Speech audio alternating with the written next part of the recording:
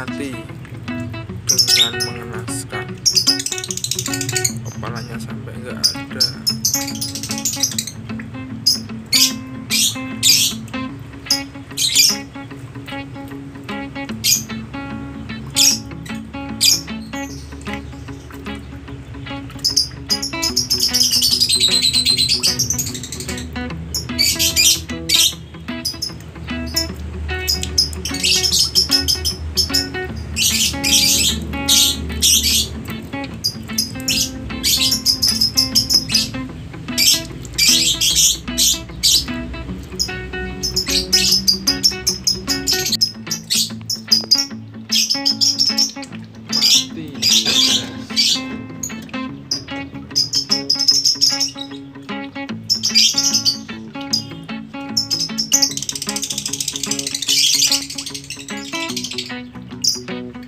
Thank you.